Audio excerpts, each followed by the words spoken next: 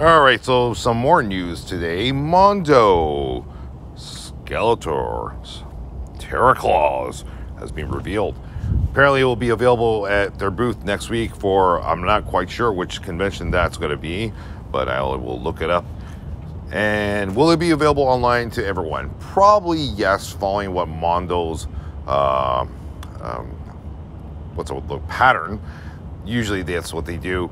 So I, I will assume yes, but it might be a limited release. We'll see.